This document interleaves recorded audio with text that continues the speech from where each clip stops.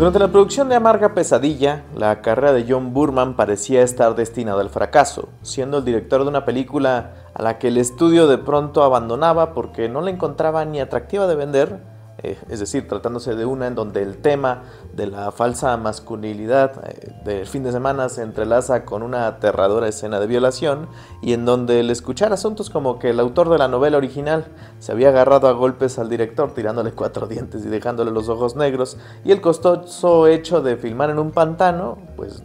eran muchas razones. Pero Burman no cedió, convenciendo a sus actores de hacer sus escenas de riesgo, lo cual pudo complicar más el asunto con una fatalidad o con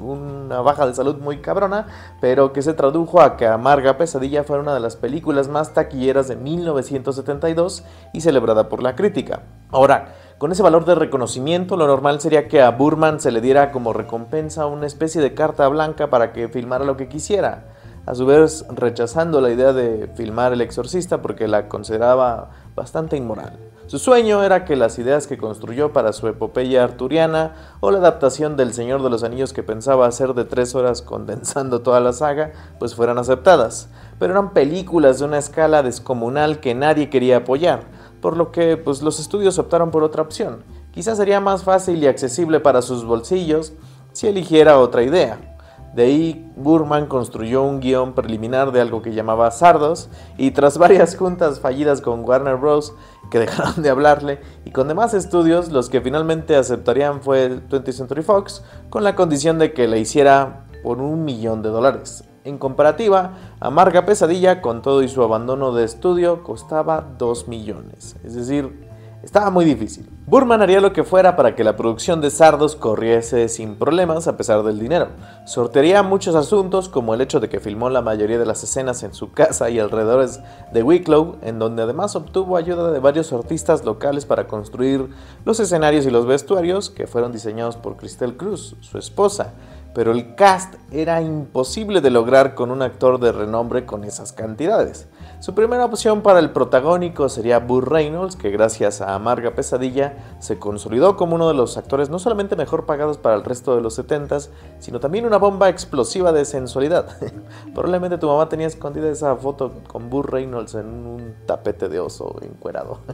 es muy probable que Reynolds apuntando a su cartera viera las ideas locas de su anterior director y simular estar enfermo para no atender las discusiones de Sardos, por lo que Burman tendría que consolarse con la otrora figura de masculinidad que venía a suplantar Reynolds, una hora en aparente decadente estado Sean Connery. La mayoría de la discusión de Sardos gira en torno a lo ridículo del vestuario y que probablemente hayas visto si has rondado por internet en estos 30 años en el que la película se ha vuelto una especie de chiste de culto. Y no lo voy a negar, la idea de Sean Connery en ropa interior roja con bandanas de guerrillero zapatista, con además su bigote, colita de caballo, botas sexys ultra largas y ataviado con un revólver y su notable pelo en pecho, pues es una brusca impresión. En mi caso totalmente recuerdo haber descubierto Sardos por IMDB cuando buscaba las peores películas de la historia e incluso tenía su imagen guardada en una carpeta junto a un montón de pósters que me dedicaría en mi adolescencia a buscar para burlarme de, películas. Veía el tráiler y me carcajeaba. Incluso uno de los primeros proyectos de radio en donde aparecí, hablé de sardos porque me parecía de lo más ridículo que alguien pudo haber concebido. Finalmente, la gran cabeza que flota sobre nosotros me compensó una tarde que caminaba por el centro comercial y en donde Sean Connery con su cola y ese título inigualable me estaban esperando por la cantidad de 30 pesos que no dudé ni un segundo en gastar. Y finalmente cuando vi Sardos no encontré lo ridículo. Sardos ocupa un lugar en la historia de la ciencia ficción maltratada, al lado de The Dune de David Lynch, 2010 de Peter Hyams, la novela Configuración de William Peter Blatty y Fase 4 de Saul Bass, de películas ambiciosas que fueron caprichos y que fracasaron en su momento para volverse material de completa burla y revaloración dentro de lo inepto, pero que realmente son obras incomprendidas. Burban apuesta en un sentido estrafalaria una variedad de temas que la película explora y que de forma bastante atinada no afianza de manera completa haciendo que las pretensiones de Sardos en lo que plantea no precisamente deban verse bajo una lupa fidedigna, sino en la de dejarse llevar por su atmósfera y varios planteamientos filosóficos. Eso es lo más rico de Sardos, que te permite aproximarte a la película y sus temas bajo tu posición reflexiva. Sardos se presenta con esta glorificación de la violencia que emula los viejos libros y de ciencia ficción en donde por momentos estas rabietas de su protagonista exudan tonos de Robert E. Howard o de Robert Heinlein, pero que lejos de posicionarla como glorificantes, Burman las atraviesa bajo la mirada irónica y distópica de otros referentes como Anthony Burgess o hasta de Jorge Luis Borges que presentan esta dinámica para tratar un sinsentido como pues, lo, lo que es que un salvaje se vuelva antihéroe y represente el paragón de esperanza para un grupo de seres avanzados que han olvidado la violencia, pero que se excitan de tenerla frente a sus ojos, de pensar que pueden controlarla y que esta será la esperanza para erradicar los cimientos que construyeron de forma absurda, al pensar que podrían despegar al humano de esta condición que ven como pues natural. Y de pronto también comienzas a ver las ideaciones como la manipulación de las altas esferas bajo el control de las clases bajas que les van a servir para proseguir con este círculo vicioso sin darles algo a cambio, o del cómo la idea de ser longevo representa una idea peor que la muerte, porque al envejecer pierde sentido en la sociedad y te vuelves un estorbo que nomás no puede anhelar el día en el que pues este, puedas descansar. Eh, sobre todo esa escena en donde los viejos están en un como están resguardados en un cuarto de, de, año nuevo eterno, me parece una idea bastante escabrosa. Y de lo que al final representa ser inmortal, en donde el mayor valor de esto no recae en vivir para toda la vida adquiriendo poder y desvirtuando lo humano con lo que es la rabia o el sexo, sino en la semilla presente en el legado, sea en la herencia de nuestros hijos o en lo más mundano como unas manos en la pared de cavernícola que dicen más de lo que significamos a dioses imponentes y que no podemos comprender. Y esto se siente como algo en donde Burban puso esfuerzo y alma para lograr que ese millón de dólares pues sirvieran, porque lejos de adoptar una pretensión de que no va a poder alcanzar eh, pues de filmar una épica kubrickiana, aunque hay que destacar que tiene a Geoffrey Unsworth en la cámara, el mismo director de fotografía de 2001, Sardos anota una apariencia mundana y activa de experimentación sobreactuada, pero de proeza emocional, como lo fueran las películas de Herzog o Antonioni de esas épocas, y en donde, pues seamos honestos, se siente la inyección de psicoactivos en cómo retrata este universo con cristales mágicos, como una hippies de espejos y desnudos, muchos, muchos desnudos, lo cual me parece bastante gracioso, no me quejo de los desnudos, sino porque la clasificación de Sardos siempre ha sido la de clasificación A para toda la familia, y ahí tienes a Sean Connery teniendo erecciones, violando mujeres y siendo objeto de deseo enfrente a una computadora que exprime senos jabonosos y tiene desnudos eh, en su plataforma. Señal de que pues, ni los que hacen la sinopsis de los DVDs y clasificación vieron sardos, solamente yo. Y Sean Connery, lo que voy a decir es algo muy profano, pero se siente mucho más atrevido en Sardos que en toda su etapa del 007.